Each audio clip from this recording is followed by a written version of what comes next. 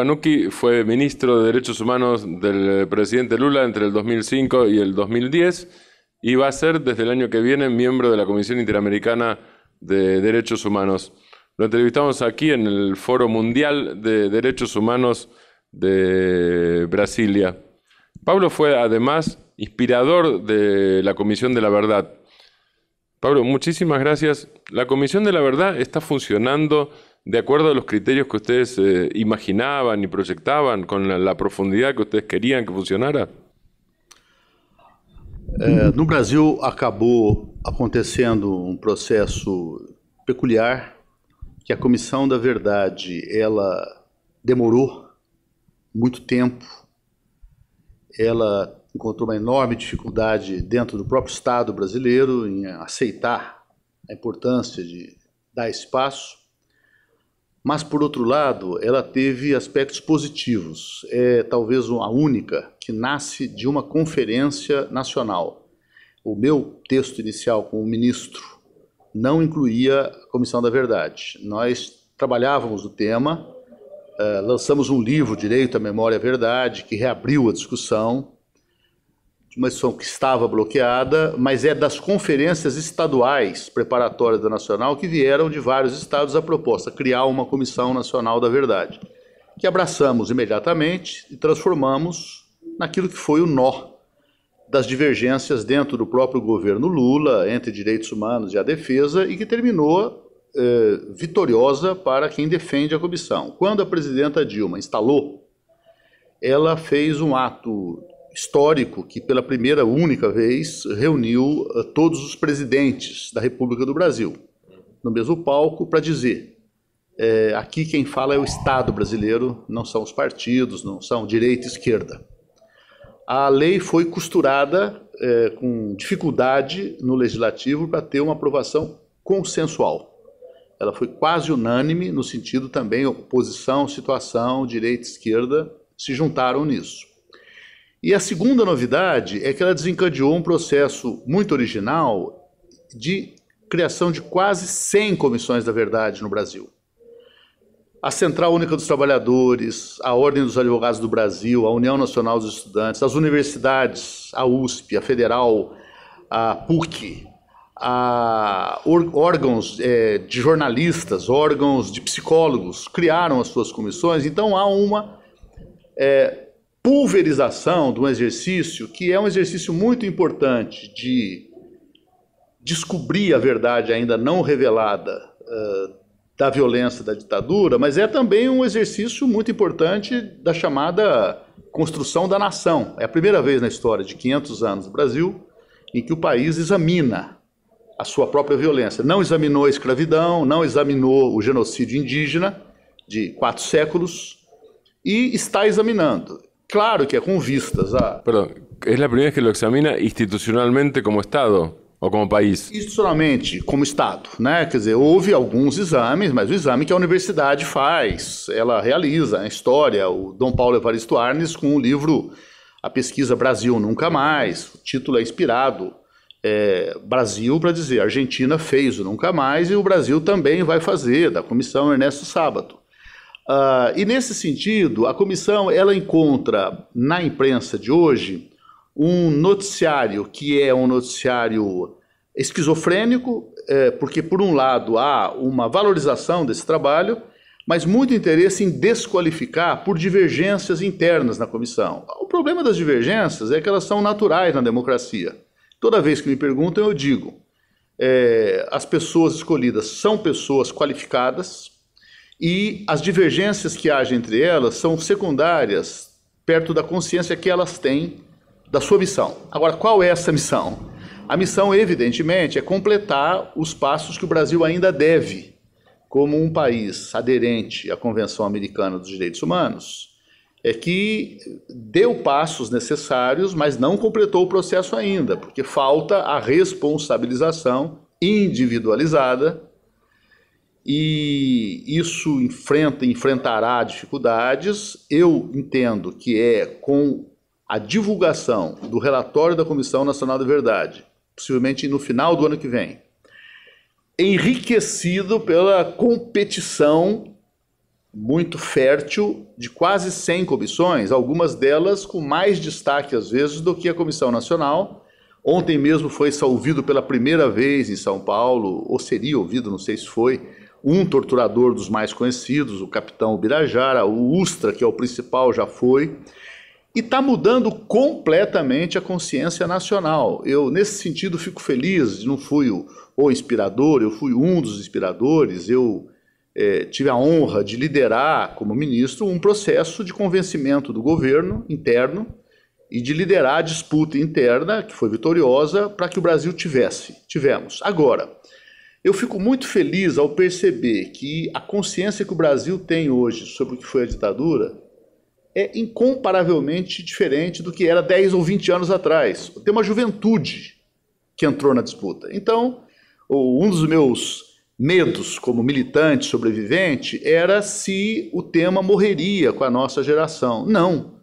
É a nova geração jovem que começou, inspirado também na Argentina, a promover os chamados escrachos, Levante Popular da Juventude, ela assume em suas mãos e ela tem melhor do que a nossa geração a condição de ver a ditadura com o olhar da história, do direito, da justiça, e não como nós, partes litigantes. Então, nesse sentido, eu não tenho a menor dúvida de que o Brasil vai completar todos os passos do processo. Eu não defendo a revisão da lei de anistia, eu defendo que a lei de anistia não protege torturadores.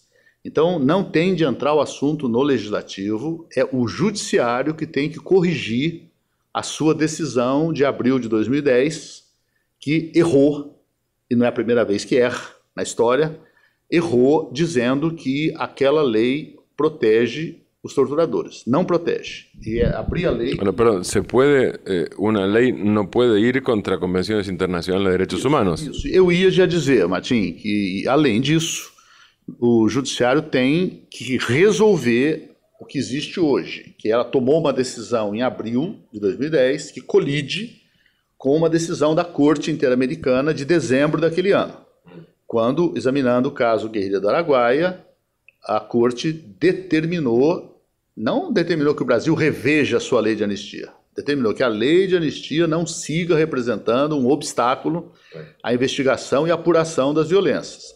A dúvida que eu tenho é se o Brasil vai fazer em dois anos ou em 20 mas que vai fazer, não há a menor dúvida, é um país que está presente nos organismos da OEA, na Organização Mundial do Comércio, na FAO, quer um posto permanente no Conselho de Segurança da ONU e só pode obter caminhar para isso se ele mostrar que cumpriu uh, os seus deveres como aderente a um tratado internacional como é a Convenção Americana dos Direitos Humanos.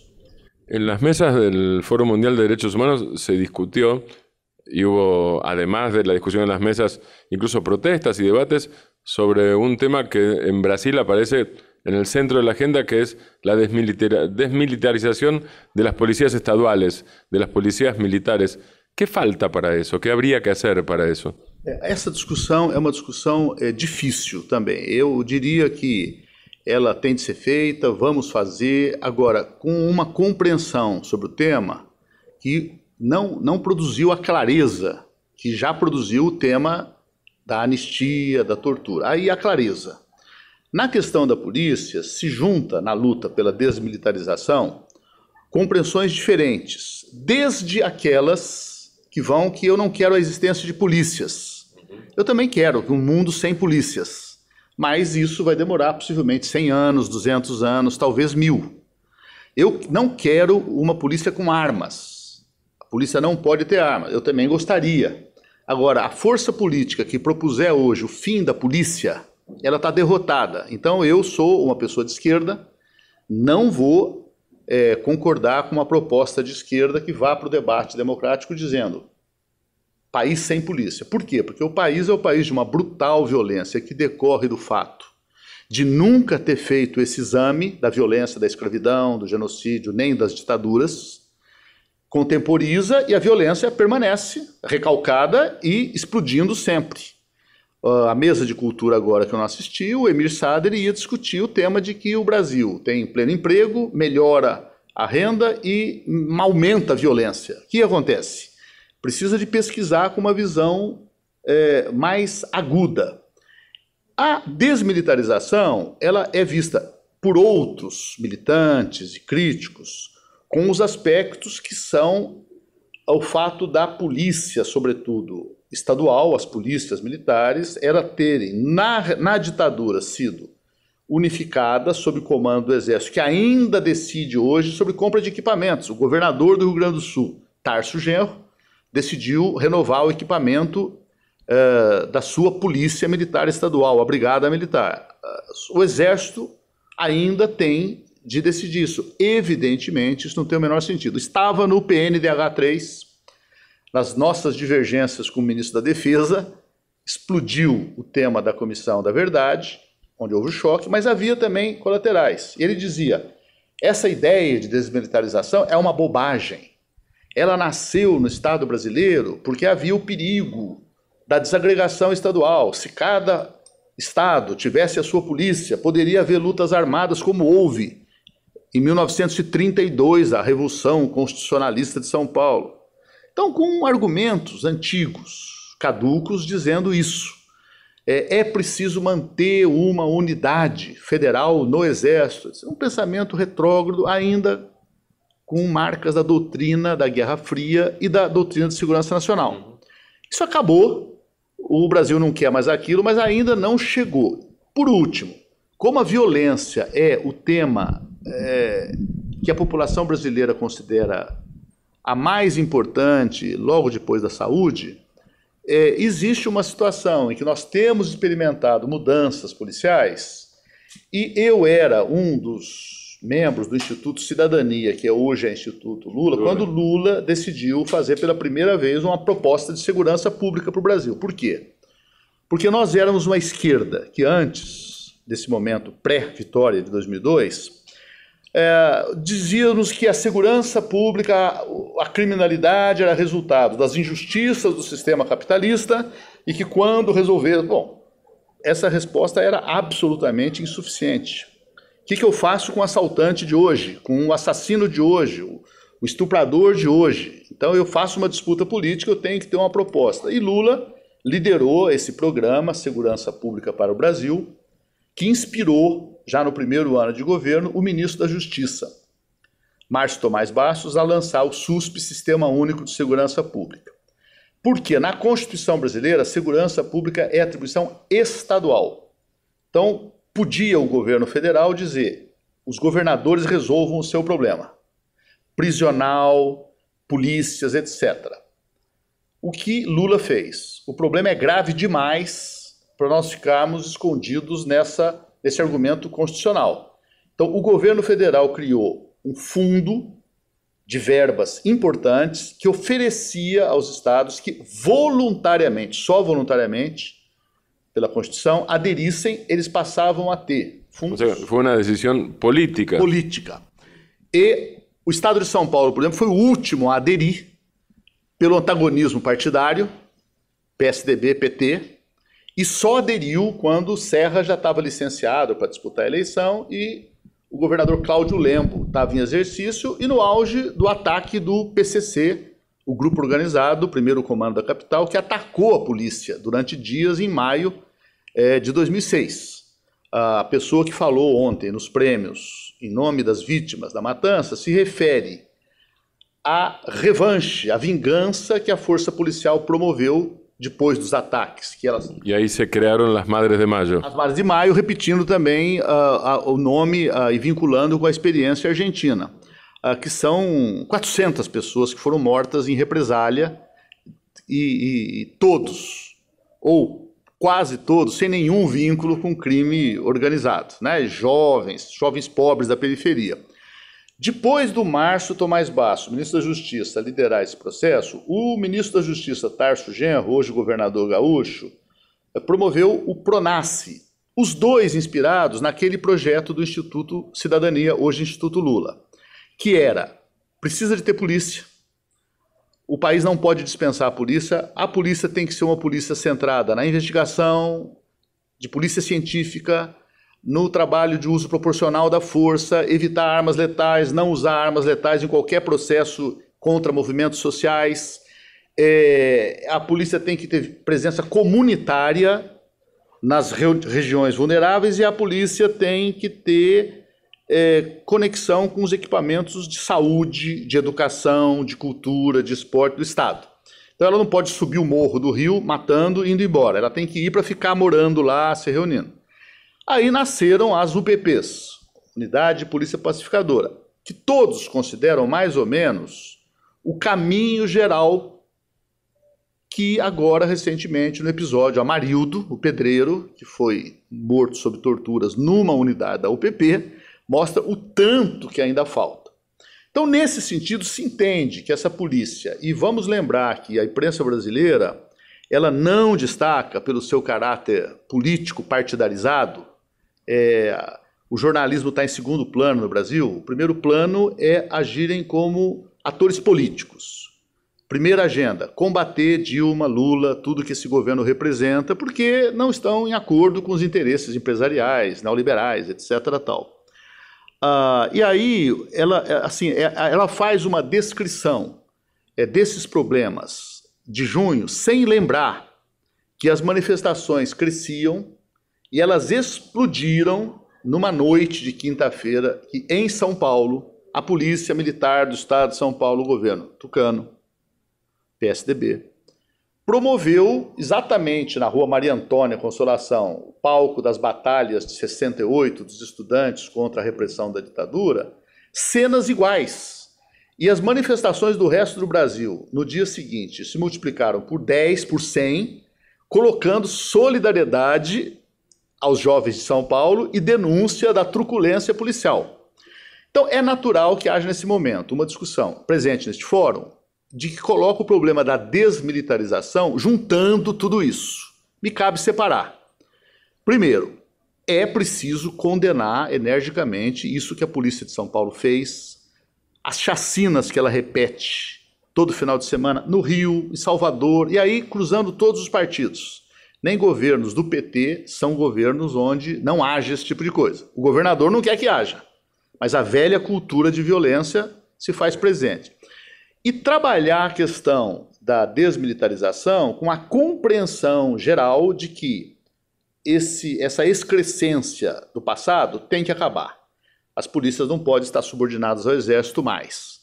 O seu código interno não pode ser mais um código próprio do tempo da ditadura. Por exemplo, o policial punido pelo superior, ele não tem hoje nenhum instrumento de defesa, de recurso.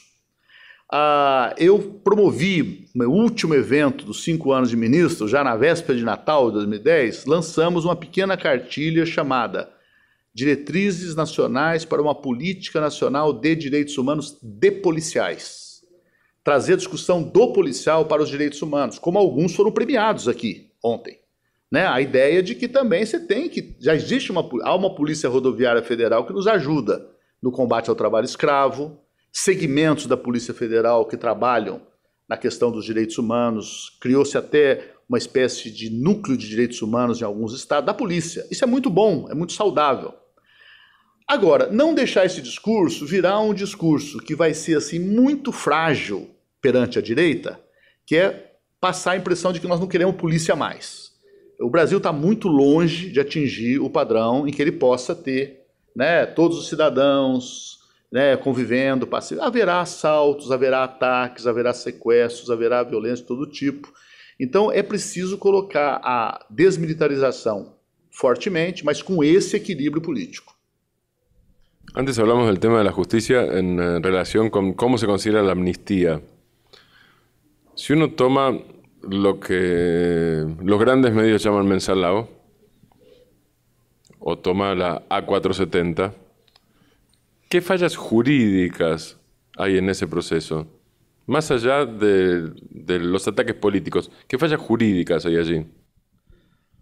Bom, tem assim muitas falhas jurídicas. Muita. É um processo histórico. Eu não tenho a menor dúvida de que o Brasil terá uma nova visão sobre o chamado mensalão daqui a cinco anos, daqui a dez anos, como hoje nós olhamos para trás e sabemos que o Partido Comunista, no pós-guerra, elegeu uma bancada de um senador, 15 deputados constituintes aqui, Luiz Carlos Prestes, Marighella, João Amazonas, vários, e houve uma ação eleitoral da direita no Tribunal Eleitoral para caçar o mandato de 15% dos votos nacionais. O Supremo Tribunal foi consultado sobre isso e decidiu que a cassação era legítima porque o Partido Comunista era membro de uma potência estrangeira que ameaçava a democracia cristã ocidental. O sea que la, la razón jurídica era la Guerra Fría. A Guerra Fria. Nos anos 30, a mesma coisa. A companheira de Luiz Carlos Prestes, que era um líder revolucionário da coluna Prestes dos anos 20, final dos anos 20, ela, ela era membro da Internacional Comunista e grávida de Prestes, judia, presa no Brasil, foi enviada por Getúlio Vargas, pela sua polícia política, para ser exterminada num campo de concentração nazista. A defesa entrou com habeas corpus, o Supremo convalidou. Então, sem ser tão dramático como a morte de Olga Benar no campo de concentração nazista, sem ser politicamente tão claro como foi a cassação dos comunistas em 48, início de 48, o chamado mensalão não tenho a menor dúvida que será resgatado na história, mais cedo ou mais tarde, é, como um erro equivalente aos vários outros o erro que eu acabei de mencionar, de abril de 2010, é, interpretando erroneamente a lei de anistia e protegendo torturadores, e, o que cria o absurdo de que figuras como José Genuíno e José Dirceu, que são lutadores da democracia contra a ditadura, que expuseram a sua vida. É, Genuíno estava na Guerrilha do Araguaia, quase foi morto lá, extremamente torturado. Eu estava preso e recebi a informação, felizmente falsa, de que houve denúncias, José Disseu foi morto. Em São Paulo, muros pichados. Não era verdade. Mas a vida das pessoas foi colocada generosamente. Essas pessoas estão condenadas como se fossem corruptas. E o torturador Carlos Alberto Brilhante Ustra, por decisão do mesmo Supremo Tribunal Federal, está solto e protegido. Então, isso o Brasil de 2013 não suporta mais a decisão é, ela está dada, mas nós vamos seguir no processo. Você me perguntava dos erros jurídicos.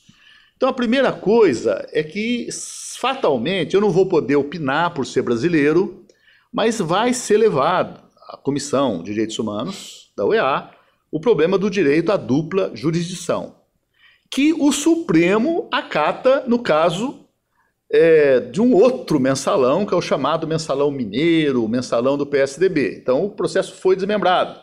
E nesse caso, não. Trouxe para julgamento diretamente no Supremo pelo argumento de que são deputados. Três dentre eles eram. Zé Disseu não. Então é um erro escandaloso que os juízes mais inteligentes perceberam, é, condenando ou absolvendo. Absolvendo como Lewandowski percebeu, e condenando, como Celso de Mello, dizendo: olha, se nós não fizermos, não aceitarmos os recursos chamados embargos infringentes, os réus vão levar para a OEA a exigência de respeito ao preceito da Convenção Americana de Direitos Humanos, que o Brasil assina, que exige dupla jurisdição.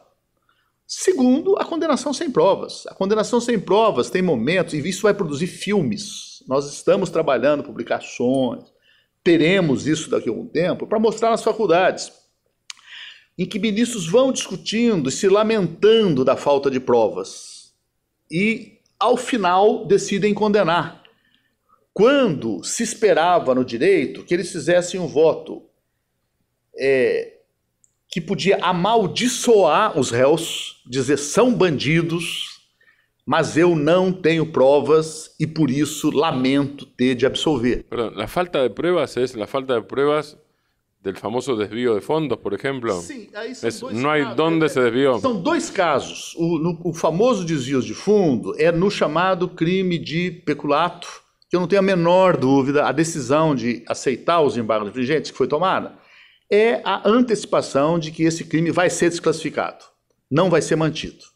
A decisão que eles fizeram agora de prender no regime semi-aberto, que eles não estão respeitando, então é o, o, o, presidente do Supremo Tribunal Federal, Joaquim Barbosa, que está dizendo: tem uma lei para ser cumprida, mas eu não cumpro.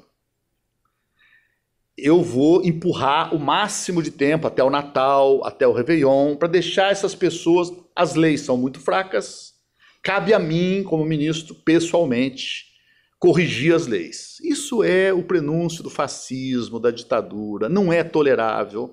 O próprio Supremo precisa de se rebelar contra isso. Empresários já estão se rebelando. Juristas da ultradireita, como o Ives Gandra, o ex-governador Cláudio Lembo, da direita, foi o presidente regional em São Paulo do partido Arena, dizendo que a condenação está sendo antijurídica. Por quê? Porque o Supremo terá de manter esse rigor só para esse julgamento e daqui a pouco julgar com outros critérios, porque na ausência de provas invocou-se a tal teoria jurídica de origem alemã, que é do domínio funcional dos fatos. Ora, no domínio funcional dos fatos, então há o episódio agora uh, da Siemens, Alstom, os trens, o metrô de São Paulo, o governador Geraldo Alckmin. Per, perdão, a teoria foi uma das usadas en el juicio de las juntas en la Argentina en 1985. Pero para eso había una estructura militar eh, vertical más la estructura presidencial, pero además había una estructura fuerza por fuerza que obviamente era una estructura vertical donde había una cadena de mandos e ordens. Sim, Martim, mas além disso, eu não conheço bem o processo argentino, mas provavelmente, se formos investigar as peças de acusação, a justiça argentina terá falado isso, mas terá também provas Claro. Não apenas o fato, porque aí o Geraldo. Alckmin... E, havia, havia, perdão, e havia uma cadena militar de mando, por outra parte, sim, claro. Sim. E provas. O governador Geraldo Alckmin tem que ser imediatamente processado e condenado pelo domínio funcional dos fatos. Claro. A compra de tem. E ninguém vai defender isso. O Supremo não vai, nem nós, que somos oposição ao governador. Porque nós defendemos o direito, a justiça. Então pode ser que o governador de São Paulo não estivesse informado. Pode ser. A prova é que tem que apresentar isso. Então, a decisão absurda, antijurídica, é de que, na ausência das provas, eu recorro. E, na época, um dos grandes expoentes alemães da doutrina do domínio funcional dos fatos foi a público dizer: na minha teoria do direito, não se dispensa provas. Eu construo essa história. Bom, e, e a história do peculato que você fala é uma dos crimes que vai cair e vai cair uh, porque a VisaNet é uma operadora de cartão de crédito que se associa aos bancos, ao Bradesco, Itaú, Banco do Brasil. O peculato é um desvio de dinheiro público. Se é alguma coisa com Bradesco, com Itaú não tem nada a ver com peculato, com Banco do Brasil. Só que o contrato é nítido. É uma associação entre uma administradora de cartão e um banco. A quem cuida do cartão é a Visa. Não é Banco do Brasil, a Visa não é do Banco do Brasil. Não cabe peculato. Alguns ministros mostraram isso, isso não é peculato. Por último, é a alegação de que o dinheiro não foi gasto naqueles fins. E foi. A própria Rede Globo recebeu alguns dos milhões que foram eh, material pagamento de publicidade, de eventos. Por último, especificamente em relação ao genuíno, existe uma prova, que é a prova, ele assinou. Então, isso foi transformado numa demonização na visão de que a pessoa, se assinou, ela tem responsabilidade. Ora, nenhum presidente da República, nenhum governador assina. Eu, quando era ministro, eu assinava no final do dia uma pilha de convênios, de contratos, em que não há a menor condição de você parar para ler sequer. Eu só perguntava para o meu chefe de gabinete, para a minha chefe, do que, que, que é isso? Vocês estudaram bem? Estudamos, né? E todos eles sabem que é assim. O Joaquim Barbosa sabe, ele faz isso com o ministro. Os presidentes, governadores sabem. Então cria-se um cinismo de que não, assinou, tem responsabilidade. E por último, o Zé Dirceu é a figura que foi condenada com o argumento. A ministra Rosa Weber fala: não tem como o Zé Dirceu não saber. Ora, mas isso é subjetividade jurídica. Por que, que existem as provas dos autos? Né? Se não está nos autos, não está. Eu suponho, ou pressuponho, me levaria a condenar o Geraldo Alckmin agora, sem direito de defesa, né? Porque há um. Do... Não, essa teoria não vai durar. os próprios empresários estão tomando a iniciativa de dizer: se isso aí continuar, nós vamos ter um Supremo enlouquecido, porque inúmeras decisões empresariais são tomadas é, sem que o presidente da empresa possa ser responsabilizado diretamente para isso. Eh, Pablo, en el discurso de ayer en el foro, Lula habló de las posibilidades que el mundo no imaginaba y habló de algunos presidentes y dijo, nadie imaginaba, habló de sí mismo, que un tornero pudiera ser presidente de Brasil, que un negro fuera presidente de los Estados Unidos, que Mandela, porque fue a partir de Mandela, que Mandela llegara a la presidencia de Sudáfrica, que una torturada, hablando de Dilma, fuera eh, presidenta de Brasil también, y que un indio llegara a la presidencia de Bolivia. Él no habló de que no calificó a ninguno de los presidentes como presidentes. Yo no quiero una calificación de un participante, lo que sí me gustaría es una descripción. ¿Cómo era trabajar con Lula presidente? No el Lula que llega a presidente, no como asesor o como militante antes de la presidencia, sino del 1 de enero del 2003 en adelante. ¿Cómo era ser ministro de Lula? Bom, eu, eu vim, é, eu sou um assessor do Lula há muitos anos, há mais de 30 anos. E eu era um dos diretores, fui presidente do Instituto Cidadania, e ele me disse que eu fui a única pessoa que pediu para ele para não vir para o governo quando ganhou a eleição. E é verdade, eu tinha também razões pessoais, familiares, mas sobretudo eu tinha convicções políticas profundas de que aquele governo, ele não podia ser um governo que atraísse para os cargos de governo toda a geração de militância que tinha construído o PT, que era preciso ter feito que nós não fizemos, uma discussão estratégica separando quem vai para o governo, quem não vai, para ficar em quais posições da sociedade civil, numa visão muito gramsciana. Uhum. Né? Na, quem vai ficar na universidade, quem vai ficar, o meu amigo, irmão, Frei Beto, né, presos juntos. É, eu falei com o Beto, você não tem que ir para o governo. Você é uma pessoa da igreja, você escreve em qualquer jornal que vão fechar as portas para você. Você fala em qualquer igreja que vão fechar as portas para você e você vai ser um assessor a mais numa estrutura do palácio onde haverá dezenas de pessoas que podem fazer o seu papel lá e não terá outros freis betos por aqui para fazer o que você faz. Então, eu fiquei lá trabalhando no Instituto, o projeto Juventude, que também virou política de governo, um projeto sobre o desenvolvimento regional e local. E quando ele me chamou em dezembro de 2005, eu também vim é, dizendo para ele que ia sair dali satisfeito, de qualquer maneira, porque eu queria não ser ministro. Se ele me autorizasse, eu ia ficar muito satisfeito. Mas que se ele me obrigasse, eu bateria continência é, e também muito honrado pela confiança. Era um ano muito difícil. Ele ontem, no voo para cá, me lembrou isso. Eu falei, ah, você foi para o governo, o Marinho foi para o governo num momento muito difícil, momento de ataque, gente saindo do governo.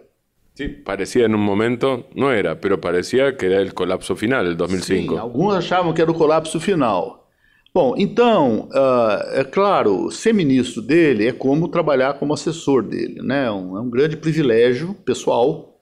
É, eu tenho uma relação é, com ele de, também hoje de amigo, mas eu, sobretudo, é uma relação de aprendizado, né? Eu aprendo. Ontem, aqui no Fórum Mundial, eu me fiquei mais uma vez fascinado é, quem convive com a pessoa. E eu também não sou uma pessoa, pela minha natureza, racional, racionalista, de ser assim um uh, mistificador, sabe? De começar a ver uma figura de um Lula puro, perfeito, que não é. Né? A grandeza do Lula está, inclusive, na compreensão que ele próprio tem da, dos seus limites, né? Do, as nossas virtudes e os nossos vícios. Né? Acabar com essa história de um líder Sim. que só acerta e nunca erra. Não é essa a minha visão. Sim, não, não é um místico. Não é um místico. E, exatamente por ter essa cabeça que eu tenho, é que eu, assim, é, é, desfruto tanto esses momentos como o de hoje, de ontem, em que ele chegou com um certo discurso na cabeça e foi informado rapidamente de uma tensão ocorrida no momento da premiação, em que a presidenta Lula ela fez um bom discurso. Eu lembro, inclusive, que o momento de virada no discurso dela foi quando ela fez menção à Comissão Nacional da Verdade. Naquele momento, uma parte é, da massa se levantou e começou a gritar. Dilma, porque um pequeno grupo de 30 pessoas, talvez, alguns usando cocar de índio, estavam fazendo um protesto contra ele, que aqui no Brasil é corriqueiro, nós temos protestos todos os dias em todos os lugares. Uh, eu até lamento muito o grande equívoco desse grupo, que ele não imagina o prejuízo que ele causa à questão indígena do Brasil.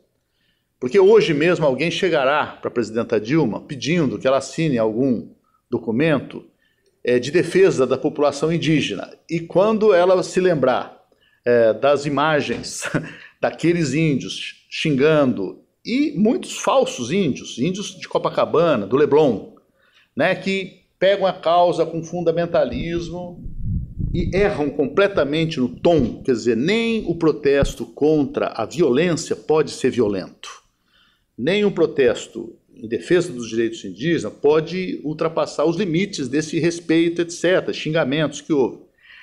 Gostei muito da atitude de 3 mil pessoas, no mínimo, que estavam aí e que podiam ter ido lá e botado o grupo para fora e tiveram vontade de fazer isso. E não fizeram pela compreensão de que a democracia é assim, nós temos que aprender a conviver mesmo com esse tipo de intolerante. E o Lula percebeu, ele não assistiu o clima e fez um discurso de enfrentamento impressionante. Né? Não tenho medo de cara feia, eu aprendi a conviver com vaias, o governo não pode ter medo de vaia. Agora eu quero dizer o que foi feito no Brasil.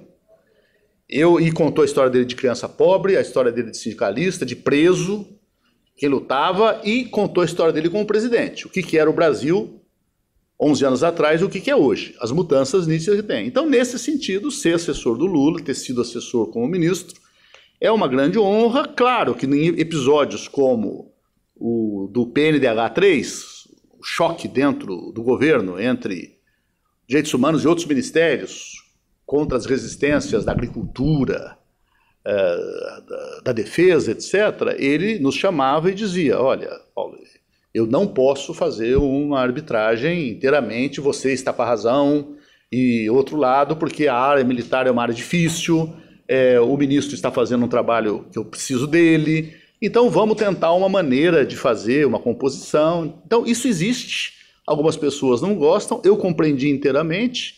E os ajustes que nós fizemos do Programa Nacional de Direitos Humanos não comprometeu absolutamente nada da sua essência fundamental, que é um documento de grande avanço. Paulo, muito obrigado, graças. Muito obrigado, Antinho. Vou continuar sendo seu leitor, então. Agora, mais, mais ainda. Obrigado.